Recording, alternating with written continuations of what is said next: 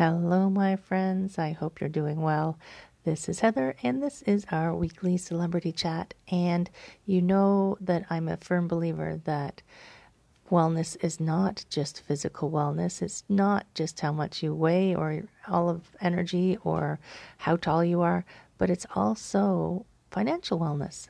And this week I'm talking to Jamie Madigan all about financial wellness and super interesting things that I didn't know before, which I love. Uh, have a listen, give me some comments, give me a like, and uh, definitely let me know if you what you thought of this episode. Take care. I'll see you soon.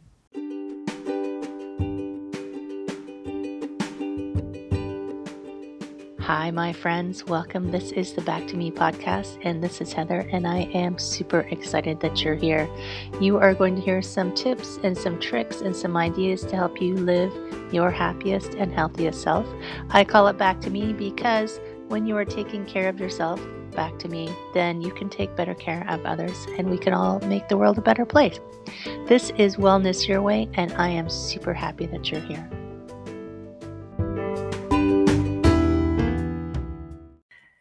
Hello, my friends. Wow, that was fast. It started recording really fast today. this is Heather. This is another fabulous episode of the Back to Me podcast. And of course, you guys know by now that the celebrity chats are my favorite part because I get to talk to some really awesome people. And this week's super amazing celebrity, because as I said, I think everybody is a celebrity. This week is Jamie Madigan. And we are going to talk well, all things wellness, but I think we might talk a lot financial wellness today, right, Jamie? Right. Exactly. And I guess I was I always want to know a little bit about how people got into what they're what they do. How did you get into this whole financial wellness world? Or what or whatever you want to share with that kind of idea. Sure. It's actually an odd story um, where something that I never really planned on. I've been in financial services my whole career, some aspect of it, so 23 years now. Uh, but I was actually recruited into financial planning. Really? I never thought of it, never considered it. A recruiter contacted me on LinkedIn and said, Hey, would you have any interest? We think you've got a good skill set. And the more I interviewed and talked to them and talked to different people, the more I realized, yeah, this is what I'm really passionate about. I see a good opportunity here. I'm fortunate enough that my dad got me started early, but I know a lot of my friends, network colleagues didn't start early or don't really know what they should be doing or why. So I kind of fell into it. And then wow. eventually realized that this is what I love, this is what I'm passionate about, and this is where I can make a difference in people's lives. And what I guess I'm curious, like what were you you were on LinkedIn, what were you looking at becoming before uh, they recruited you? I wasn't. So I just left IBM. So this would have been back in 2009. It was after 10 almost 10 years of being there. Uh, I left from there and was just taking some time because it was cool. my first real break after 10 years. I started right. working right after university, right out of university. And looking back now, I wish I had taken some time, traveled, done all of that. So, yeah, I was looking at it as a major milestone, and either I could continue on the path that I was on, or now would be a good time to transition into something else where it's still not too late. Right. It's so true. Like you I like I had a vice president when I was in corporate, a VP who said to me once he got to where he got by just being open to someone would suggest something and he would say, That's interesting. And then he would just if it, if he did actually find it interesting and he just would follow it and he was pretty high up in the corporation when I met him. But it's so interesting that you kind of fell into it. And I liked your comment that, you know, your dad got you going on financial understanding and financial planning because I can remember when I was in my mm, I might have been in my was I in my late 20s, probably mid 20s when the first time I ever met with a financial planner. And even though I was uh, on the road to becoming a chartered accountant, I had never done any financial planning. And it's very different than just knowing how to be an accountant. It's more encompassing, there's more to it. There's, you, you almost need that person outside of you to help you like navigate it, right? Yeah, exactly. And there's so many different people and titles and roles. So financial planning means something different to everybody. And that makes it even more confusing for Canadians is that they don't always necessarily know who they're talking to or what that person can advise them on. So that's one of the first questions I always ask is what do you think I do as a certified financial planner? What does financial planning mean to you and have you ever had experience working with one? If so, what did you like about it? What could have been improved? And that helps me to better understand their point of view, where they're coming from. And then I explain what I do as a certified financial planner, what makes me different, all the areas that I can assist with, because people tend to think it's either investments or insurance. Right. That's where I might. That's where my mind always goes. Right. Yeah. Exactly. oh, financial planner, you do investments. I'm like, well, that's part of what I do. Or oh, you do insurance. I said, well, that's part of what I do, but I do both of those plus mortgages, plus health benefits, plus group benefits. And the way I phrase it is it's really anything and everything to do with money and or your finances. And it all kind of rolls up into retirement tax and estate planning. Right. And right. I guess a lot of people don't think about retirement because it always seems so far away unless unless their parents have said to them you've got to make sure you know um, but it always seems so far away. Or like I think about my parents. So my mother worked for the post office and she was like, I'm going to have this post office pension, right? Didn't, right. Didn't think about anything else. Yeah, we'll be fine. So, you know, you come, you become an entrepreneur and you're like, oh my God, there are no pensions. I've got to create my own pension. What? Right. Only this. so when you're helping people, I guess you're figuring out first you're figuring out what they what they know mm-hmm. or what they don't know. And then I guess you have to figure out where they are. Exactly. So where and where they want to go. Yeah. Where are you currently at? Where do you want to be? By when? Who's important to you? What's important to you? Why? So it's really like a first date and asking all kinds of questions.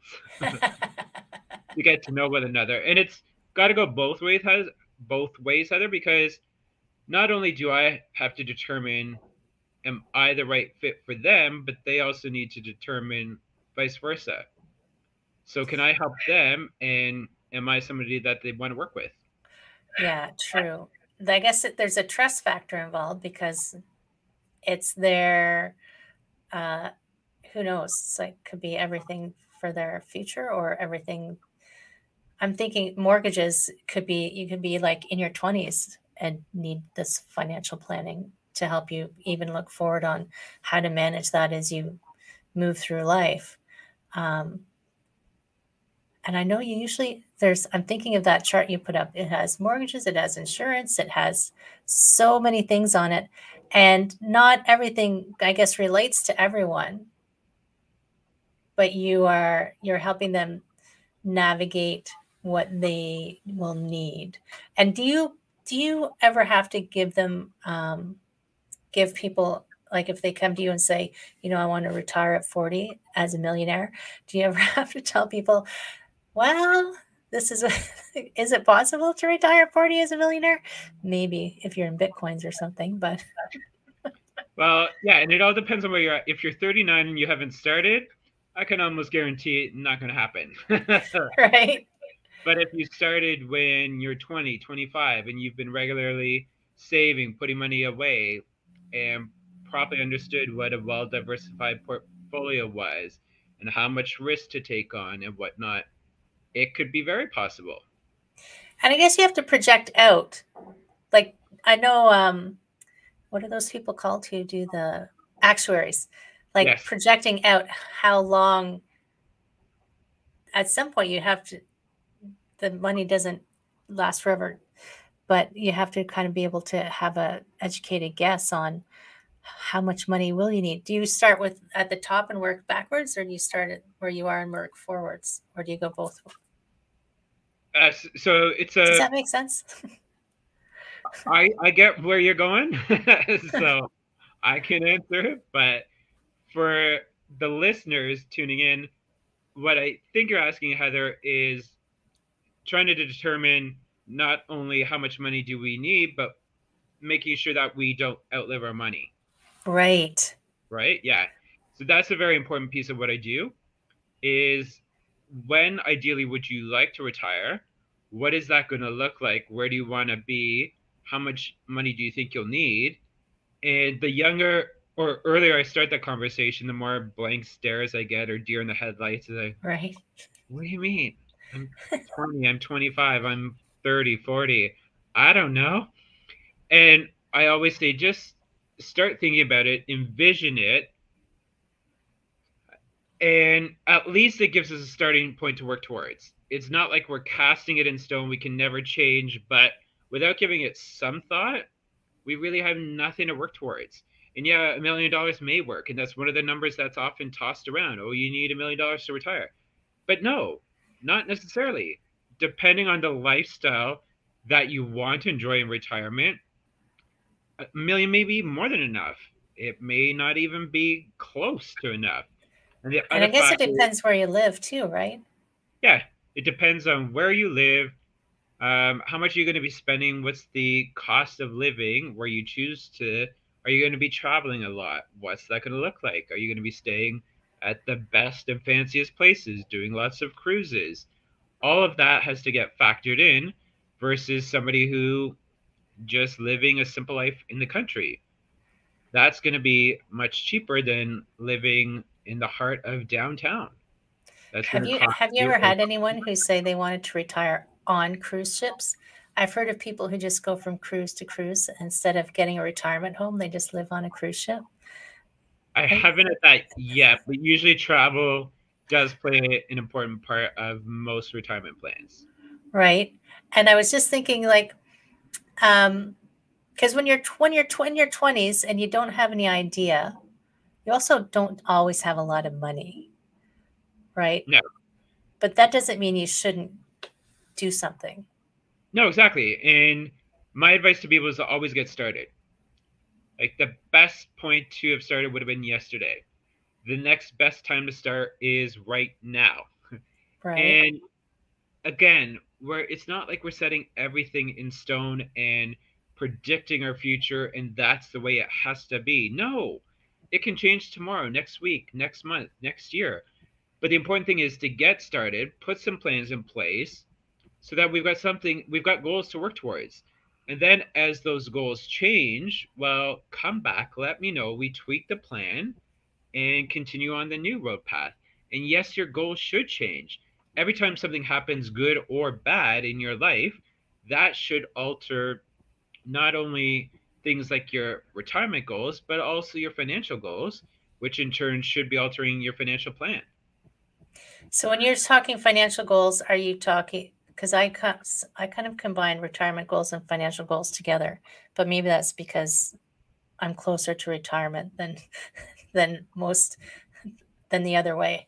Um, so when you're talking financial goals, are you talking like income levels or savings levels or? So financial goals is anything in anything to do with your finances. So retirement's one financial goal. Saving for your down payment for a house is right. another.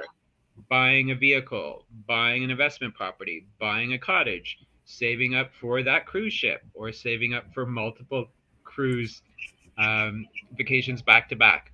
All of those, your kids' education, oh, yeah. um, grandkids' education, anything like that, anything that requires a chunk of money or that you have to save up for, all of those should be considered financial goals.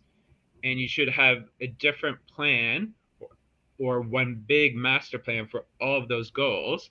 And anytime anything changes with any of those goals, you should be going back to your plan, tweaking it accordingly so that you stay on track and continue the momentum and moving forward to achieving those goals. Right. Yeah. So I'm, you know, you always see the commercials like you suddenly have a baby that changes everything in your life, not just the amount of sleep that you get. exactly. and I saw it, even a pet. Pets can be super expensive. Oh my gosh, my friend's dog needs its teeth fixed. It's not inexpensive to have a pet these days. Um, and I saw you post recently on LinkedIn about um, insurance, things that I like. You, you've been posting things on LinkedIn about things that it never even occurred to me, like insurance on was it your children or your grandchildren, or both? Both. Yeah, exactly. So a lot of times, parents and grandparents think of okay, I've got kids or grandkids, I've got to open a RESP or registered education savings plan to help save up for their education. Yes, I highly recommend everybody should definitely do that. And again, parents or grandparents can open that because you can get up to $7,200 of grant money for each child or grandchild from the government. And I don't know about you, but I love getting free money from the government because no kidding. happen often. get it while you can. exactly. They come and take it all the time, but don't really give too much. So we got to take it when we can. But yeah, on the flip side, what I was talking about, Heather, is insurance. So life insurance and child critical illness insurance, which parents and grandparents typically don't think of. And again, it's just because nobody's really talking about it. And having gone through my own uh, diagnosis last year and getting diagnosed with cancer, I've seen firsthand the impact that a critical illness policy can have on you. I got a nice check in the mail when I was diagnosed with cancer and I now don't have to worry about my financial obligations, how I continue to pay pay my bills. I can focus on treatment and recovery. And it's the same with a child. If your child were to get sick um, with a major illness, one of the parents is likely going to be taking time off of work, which could lead to lost income. And that's why I highly encourage a child critical illness policy and then when they get into their 20s that can be that child policy can be converted to an adult policy. And then the other thing that i was talking about is life insurance. And it's a great way again to get children started protect their insurability from a young age. You can get a policy as soon as 14 days old. And wow. then again transfer it over to your child or your grandchild when they become older, more responsible, and let them manage it. And if it's built up enough cash, they may even want to cash it in to use for something like a down payment, like um, down payment. You're off traveling. Yeah, education, whatever. Um, but obviously, I'm going to try to keep that in force and explain the differences between the death benefit and the cash value to them because these policies aren't always properly advertised right. or explained and people don't always take them out for the right reason. Because a lot of times it's like oh do this supplement the education. They can pay for the wedding down payment on a house la la la la la.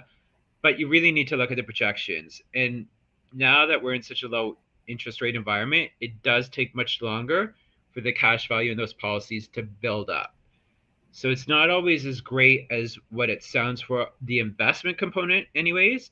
However, life insurance is always good to have, and that will always continue to grow. And it's a nice gift to be able to give your child. And when they're in their tw- late 20s, early 30s, they'll probably appreciate it that much more. Maybe not right. so much when they're a teenager and they find out that you, t- oh, great, wow, what's this going to do? but later on in life, as we get smarter, then we appreciate the value of it. And like, trust me, again, it goes back to getting started now. You can't thank somebody enough for getting insurance in place for you from a very young age. And I think we don't. I, I mean, I never thought of it for children or grandchildren because they're little kids. You're like, come on, what happens to little kids? Nothing. They're so healthy and vibrant and resilient. But then I get the ads for the sick Kids Hospital Foundation. So I'm like, okay, yeah. kids don't stay healthy. And it is true. You forget sometimes, like, maybe they don't need life insurance in the, the, for the same reason adults do or critical illness insurance for the same reason adults do, but you forget sometimes the ripple effect of an illness on a family. It is so true that if one of your children got sick, um, you can somebody has to change their day to day, whatever it is, like their job to be able to care. And I mean, the care is not always even in your city, right? Um, I know. So I'm from, I don't know if you know where it is. I'm from Brockville originally. Oh yeah. Maybe you do. I think you do. I think we talked about that before. Um, and if you want, if you're in Brockville and you're something wrong with you, you're going to Kingston or Ottawa because there's only so much Brockville General can do for you, right? And that means your parents have to go with you and they're not going to be working and they're going to be away. Yeah. No, So true. yeah, and that's just it, Heather. And think back, especially these last five years, when something happens to a family, whether it be a child or a parent, think of all the GoFundMe pages that have started up now. Yeah. And every time I see one of those, it's heartbreaking because in the background, I'm thinking, oh, there's another family where if I connected with them sooner and explained the value of insurance, the different types of insurance, and how cheap it can be if you start at a younger age when you're healthy, no pre existing health conditions. Like it breaks my heart. And then going into the oncology unit now, um, every time I have a checkup appointment, it's not a fun place to be. And if people have never been there, I hope you never have to go. But again, I'm looking around, I'm like, oh, how many families could I have impacted or changed? Who's here that doesn't know about critical illness, is depleting their savings, and I could have made a difference if I talked to them a few years back. So that's really become my goal and my mission, just given everything I'm going through, is to really educate Canadians on the importance and the value of insurance. Is that how you came up with Legacy Insights? Um, this has been a work in progress, uh, but it's it started from there, and from working with Canadians and educating them, I started doing webinars back in 2019. Oh, okay. it- Like even it- pre COVID. yeah, exactly. Back when we used to do stuff in person. um, but then shifted online. And yeah, so Legacy Insights is something that I help Canadians develop for themselves. And there's three components to it. And the first is just helping them to get their money working harder for them to achieve what I call monetary proficiency. The second is helping them to get crystal clear on what do they want their personal legacy direction to be. And then the third component of that is ensuring that they've got the right legacy support network in place to achieve what they want their personal legacy direction to be. What's in a legacy support network? That is ensuring that you've got all the right people to achieve all of your personal legacy direction goals. Do you mean like lawyers and investment people and it's just Yeah, it's really anybody and everyone that you need to support your goals, dreams, wishes. So could be wills and estate planning lawyer, real estate lawyer, um, real estate agent, accountant, bookkeeper, um, business lawyer if there's a family business. all right. So it's really just walking through their specific situation. How do they want to be remembered? Um, is there an important cause? Like in my case, cancer is now an important cause and something I'm going to give back to more. Right. So really walking through all of those things and just how how do they want to be remembered? What do they want their legacy to be? What do they want people to be talking about and remembering them for? And that doesn't have to wait until you're at the end of your legacy to sort that, or should never be No. left to the end. Yeah. Again, that's another discussion that can start happening right now. Right. It's going to change over the course of life as you go through life, experience things, um, certain causes or people or places may become more important to you. And you may want to leave some money to them Uh, whereas other things that were important to you at one time maybe don't become as important because you realize it's material and really isn't as important as you thought it may be. Right. Yeah, the things that are important to you in your 20s, if you make it to your 50s, you're not going to have the same things that are important. And I think about so when my when my father-in-law passed away, um, it's funny he did. I don't. I don't think he had thought about what kind of impact he wanted to leave or what legacy he wanted to leave.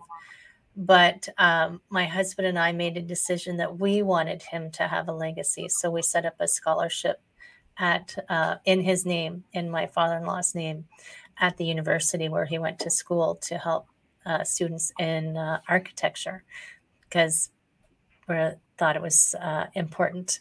And but it's if you don't think I mean, in your 20s, it's hard to think about legacy and things that are going to be important. But yeah, and I think sometimes maybe people don't realize that they can leave a legacy yeah. other than just you know the relatives and you know dispersing the, your estate like you can um, you don't have to have millions and millions of dollars to have your name on the side of a hospital or something. Like you can set up smaller legacies. Exactly. And it's not always something that families talk about either heather. So that's another discussion that i often help to facilitate and also often encourage that the different generations talk to one another about what are your wishes. Um, do you want a funeral service open casket do you want to be cremated like even those details and if it's a burial where what about the headstone uh, so obviously i realize it's not a fun discussion to have and that's why i help to facilitate it it's not something you want to be talking about at the next holiday family dinner. Easter but, dinner, we'll talk about funerals. Yeah. but the sooner you have it, the better. Again, like let's get started now.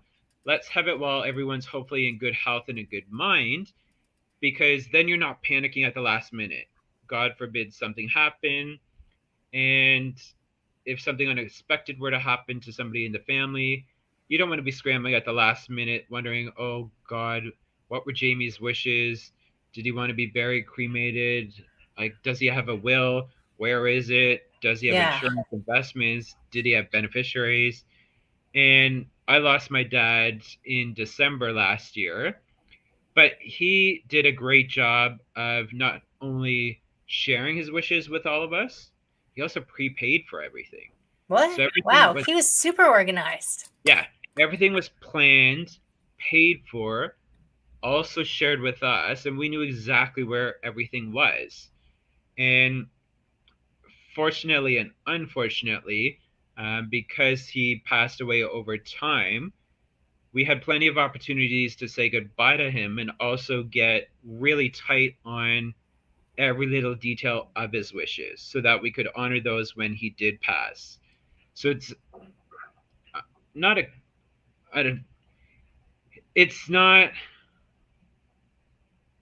I'm trying to think of the word like not a great place to be, but it was I guess a little easier to know that we were honoring him in the way he wanted to be honored because uh, we had listened to my own advice, had those discussions while he was in good mind and body. And then as we got closer and closer to that time, we knew what those wishes were, where everything was, and what phone calls we had to make when that time came. And it also takes the, I mean, when something's happening to someone, whether it's fast or slow, um, the family doesn't want to expend their energy trying to figure that stuff out, right? No. Um, it's like if you, if you, we all know that everybody at some point is going to pass. Like I'm no matter how old you are, I'm sorry, at some point you're going to come to an ending.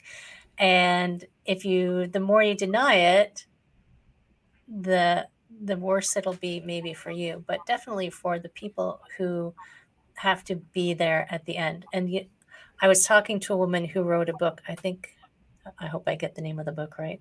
It's called A Good Exit, I think it's called.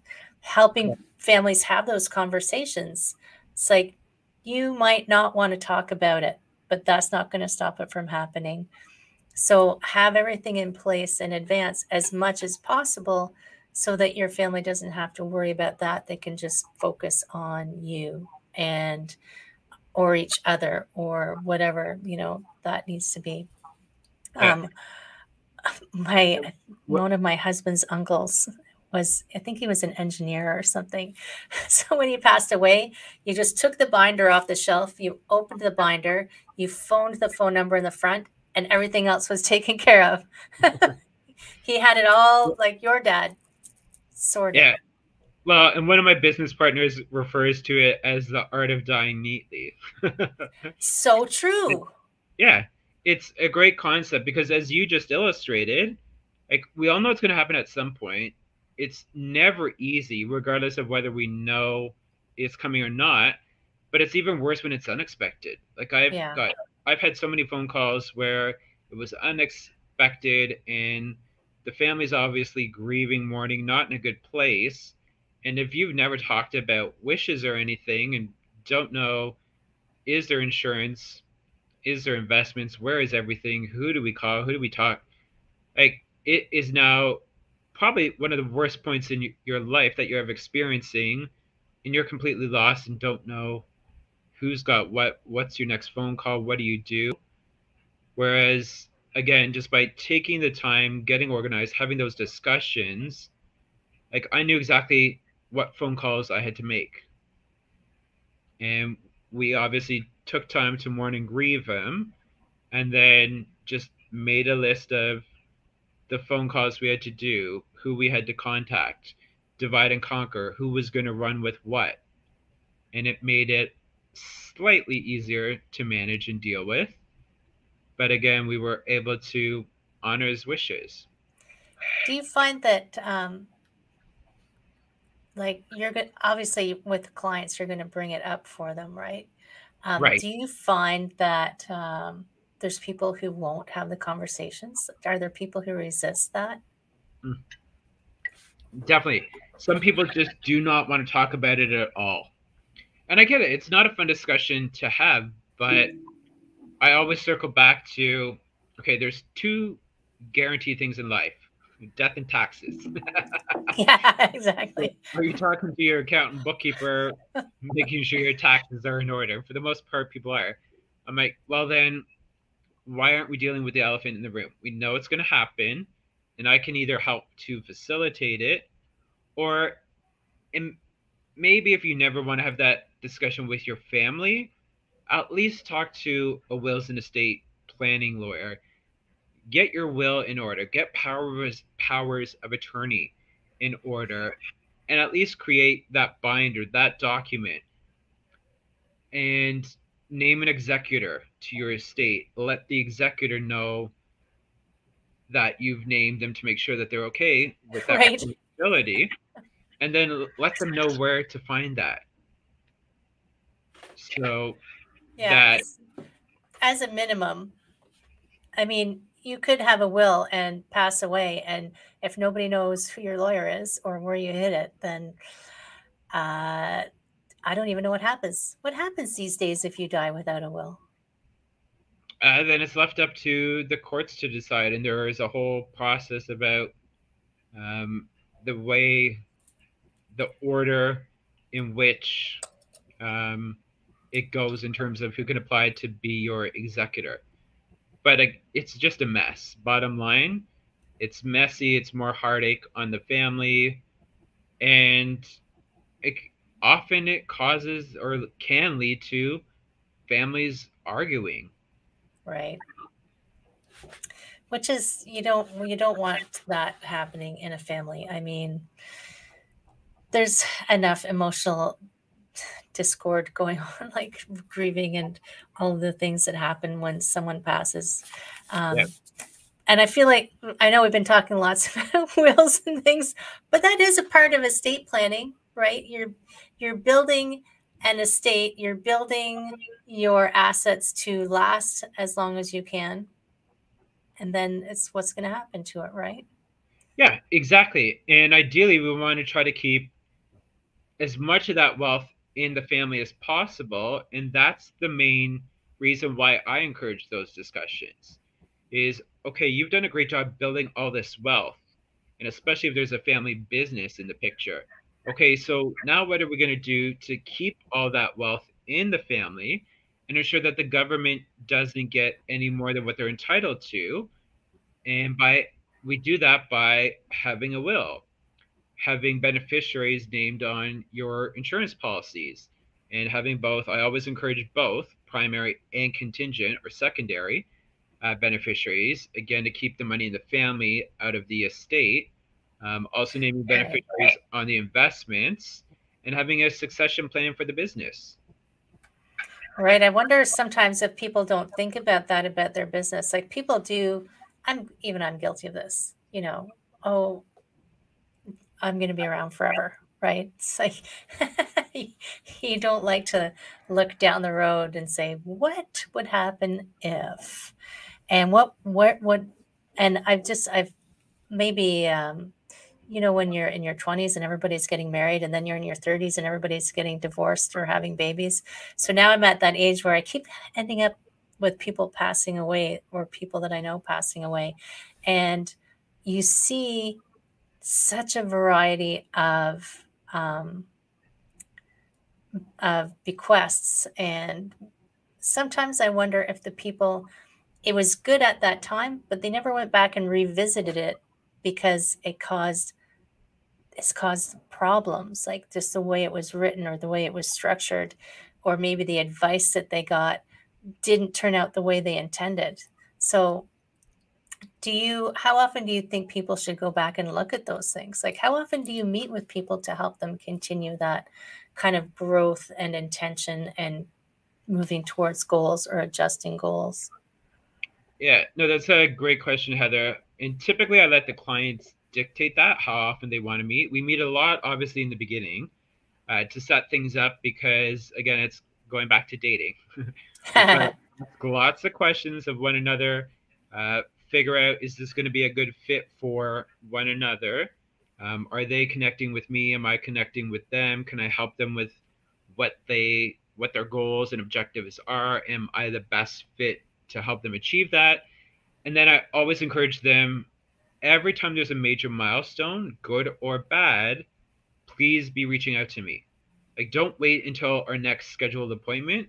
If you get married, have a kid, get a promotion, get an inheritance, win the lottery, lose your job, somebody passes away in the family, like anything good or bad, let me know, and then we can take a look at the plan. Does that impact impact the plan? And do we need to make any adjustments? And same thing goes for all the other documents. So wills and power of attorney. Those should also be looked at anytime something major happens in your life because it may cause something to need some tweaking. Like maybe you named an executor who pre deceases you. That would not be so good. No. right? Yeah. We always want to be going back to our plans, reviewing them, do they still make sense? Are they still up to date? Do we need to tweak them at all, or are we still good to continue on the same path? I kind of feel like you know it's like when you. I feel like they should it should be almost annually. Like when you look when you do that, where you look back, you know, New Year's Eve, you look back over the year, you see what was good, you see what was bad, you set your intentions for the upcoming year And I mean, New Year's Eve is just one of those dates. I also do that same thing September. Like I do it a couple times a year. But um, it's, you know, I feel like annually would almost be give you a consistency. So it's not like, oh, shoot, I forgot I did get that promotion. Right. I didn't call Jamie. Darn it. or, oh my God, I broke up with that person. I don't like them anymore. I don't want them to be my power of attorney for health because I think they'll have me put under. no, yeah, I would definitely say at least annual at a minimum, Heather. Minimum. Wow. Okay. Yeah, and I like I meet with all my clients at least once a year, um, and then again I let my clients dictate whether or not they want to uh, meet more often. Everybody gets my email address, my cell phone number, my calendar links. Uh, so my clients who really get it have all my calendar links saved and just book time when they need me, and I love that because I see pop up. Oh, Heather booked a meeting. I'm like, yes, Heather gets it. She needs something, and she noted it in the calendar invite. I know the prep work I need to do. Something's changed. Heather wants to connect. Good. Can't wait to hear what's going on with Heather's life. And are you seeing people like?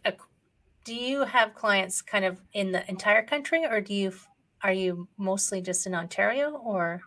The bulk in Ontario. Um, so I've got my investments license in Ontario, Alberta, and BC, uh, because I've had some clients move uh, west right, and right. wanted to continue to work with me and um, also manage i know people in both of those provinces so i reached out and got some additional investment clients. So it was worthwhile for me to add uh, my licensing for those two provinces. For insurance i'm only licensed in ontario right now and then mortgages we go right across the country it's funny. I never realized that some of these licenses were provincial because it was. I feel like it's all one country.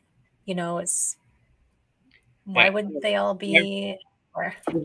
For the most part, all of the provinces and territories are fairly similar, with the exception of Quebec.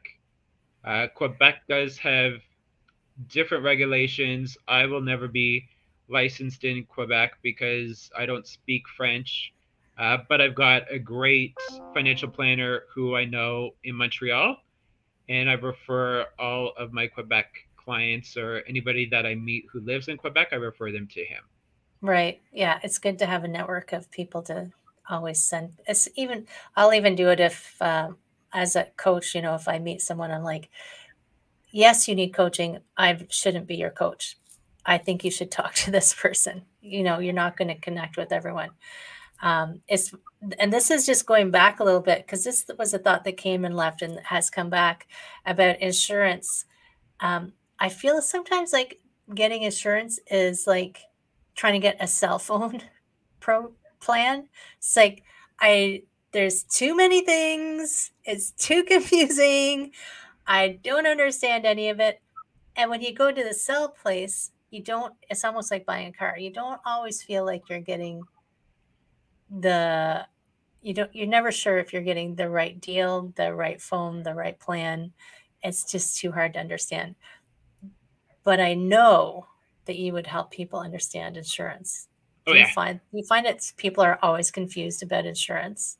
Yeah, and that's a great analogy, Heather. And yeah, that's why I highly encourage when it comes to insurance that you're talking to a certified financial planner or a chartered life underwriter, which is an insurance designation, so that they can explain the different types of insurance to you. Because yeah, it's really confusing. And people don't understand that there's four main types: life, critical illness, disability, long-term care. And we all have home and auto insurance because if you own a car, you have to have insurance. If you own or rent, you've got to have um, home or condo or tenants insurance. Like so, those are no brainers, but a lot of Canadians don't um, insure their biggest asset, which is us, and our ability to go to work and earn a paycheck. And it quite often goes back to it's just too confusing and people don't understand it. So they're like, eh, I'm going to turn right. around door because I don't know which phone or plan I want. There's too many options.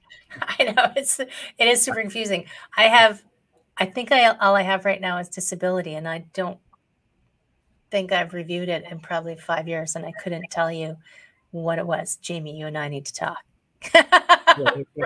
That's a good example of when you need to circle back, review, and book some time and ask questions. right? It's when you go, when you get to, into a conversation, you're like, oh, shoot, yeah, I don't actually know what I have. I couldn't tell you. I could tell you how much it costs me every month, but that's all I know.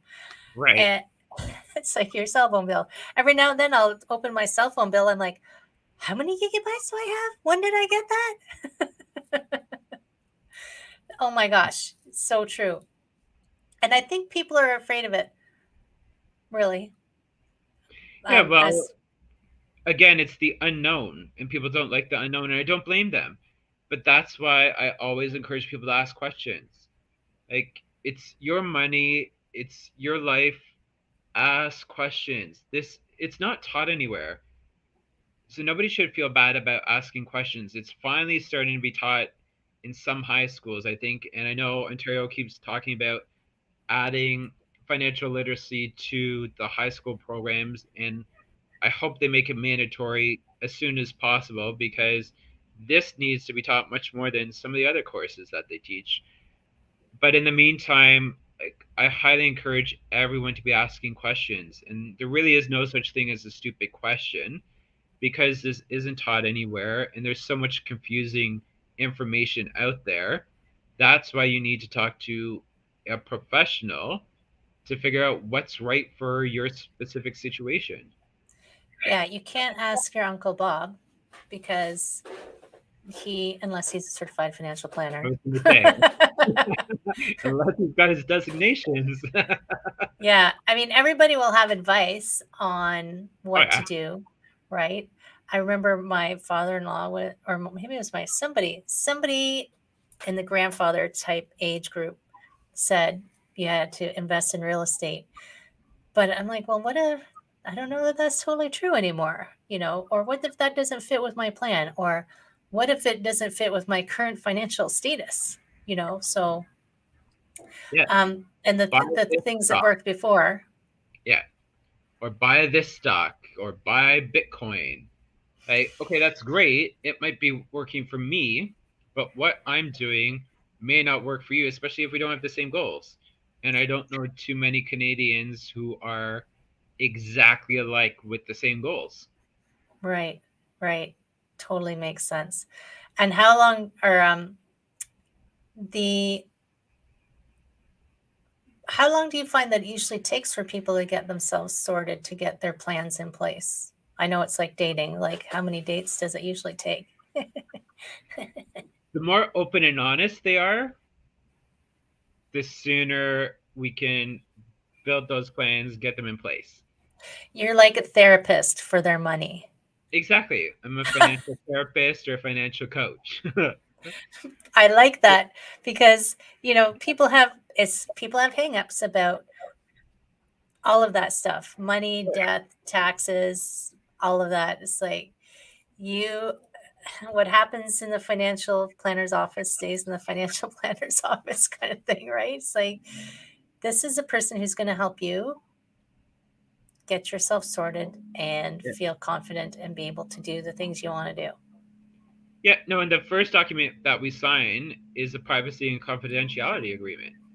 So I always go back to that when I can tell that people are kind of holding back and remind them. I said, remember that first document? I'm like your doctor, I'm like your lawyer. Everything we discuss is private and confidential. Nobody else is going to know about you, your goals, what we're trying to do. It stays here. And that usually helps them to relax and open up a bit more.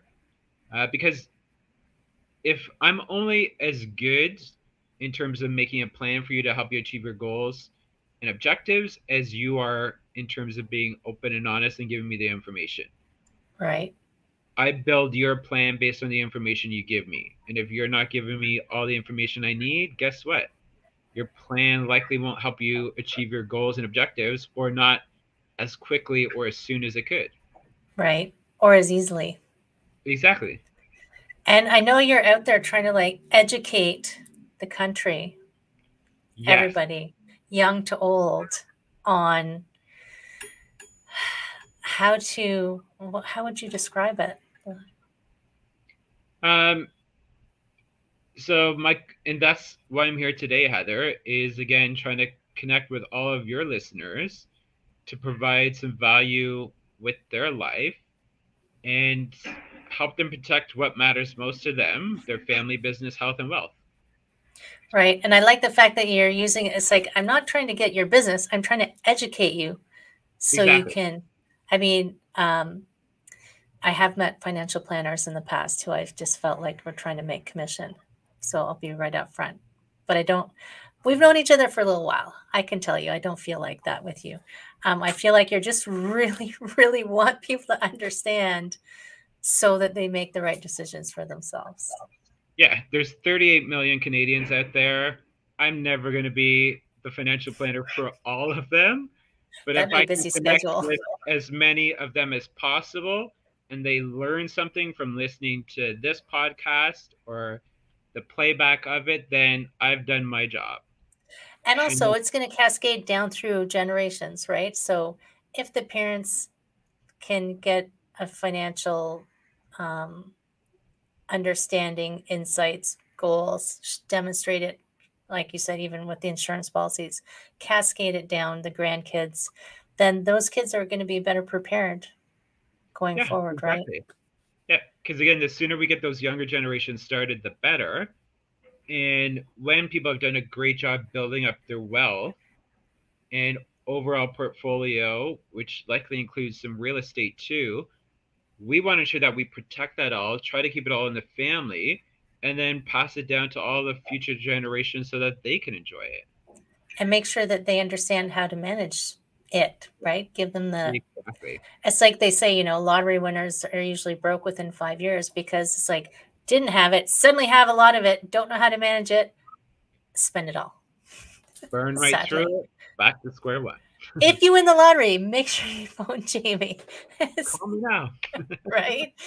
so that you don't burn through it too quickly. Yeah, we don't want you to be that stat where you're bankrupt in three to five years. Let's make sure it lasts for life, and then we pass it down to your future generations. Right. So amazing. So good. And I do think it's super important. And it is like I always talk about the six aspects of wellness. And financial is a is one of the the facets that we have to talk about because when like people say, "Oh, I would, rather be broke," no, hap, broke and happy than rich and unhappy. But um, I'd like to be rich and happy. so there's no there's no what is it? There's no you know um it's not honor it's not the word i'm looking for.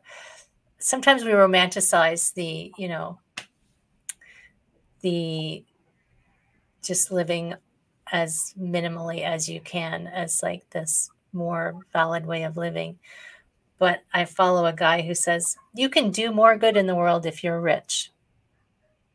So money's not evil Yeah. so you just like figure out how to have what you need, and then you will be in a better wellness place to help others, right? Exactly. And I love that that's the way that you're approaching financial planning. I love that um, you're just trying to help people understand how to ma- manage their financial wellness so that they the rest of their life goes well, right? That's amazing. Do you have do you have any final thought, like a final thought for everybody? You may it may even be a repeat. It's totally cool. yeah, final thought would be if you haven't already started, get started now. And get Right. started by connecting with a financial professional, ideally a certified financial planner, and start asking questions. And talk about your goals, your objectives, what matters to you, who matters to you, where do you want to be, by when. Get your plan in place. And then once you do, monitor that plan, tweak it, and keep going back to that financial professional. And um, if you want to talk to Jamie, all of everything will be in the chat boxes, the the show notes, all Jamie's contact information, and start even if you don't think you can afford to start. Right? A lot of people think I don't make enough money to have a planner, but I think you're saying doesn't matter. Everybody should have a planner. Yeah, exactly. And there's all different types of planners out there. So there's no cost to work with me. I'm 100% commission. I don't charge Canadians a fee to work with me because I don't believe Canadians should have to pay to try to get ahead. And again, this ties back into that it's not taught anywhere. So if people do have questions and they want to reach out with me, uh, one of the links we are sharing is my calendar. So book a time on my calendar when it's convenient for you, and we can talk about your specific questions or concerns and get you some answers. Amazing. Wow, I didn't know that. Even better. So good. Thank you so much. You're This has welcome. been. I I also like the celebrity chats because I learn stuff while I'm talking to these really cool people. And I So- love that I finally got celebrity status. Thank you, Heather. no problem at all. Thank you so much, Jamie, for taking time and sharing all of the things that you know. And I highly encourage anyone to reach out and ask lots of questions because there's there's everybody's different and everybody's going to have different questions and circumstances and the only way to get answers is to ask questions, right? exactly. Exactly. Thank you so much. Um, we'll connect again soon. Thank you Take- again for having me, Heather. Take care.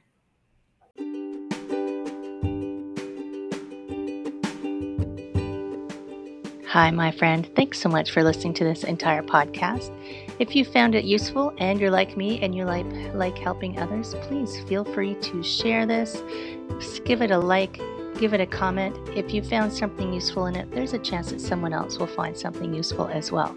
Also, if you have any questions at all, I can absolutely help and I would love to help. You can email me at heather at prosperityflowcoaching.com. If you want more of this awesome content, you can follow me on Instagram, Heather Stewart Coaching.